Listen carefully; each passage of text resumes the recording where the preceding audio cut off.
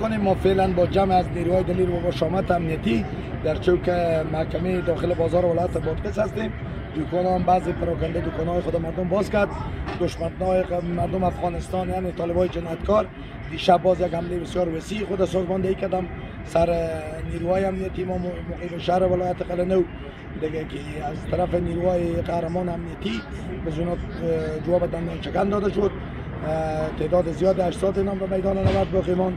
و دشمن تلفات سنگین به دشمن وارد شد. دشمن از سایه فعلا متوری شده. نیروهای کمکی هم امروز ساعت پنج بجه توسط چرمالا به هلیکوپتر در ولایت مارکز سرازیر شده.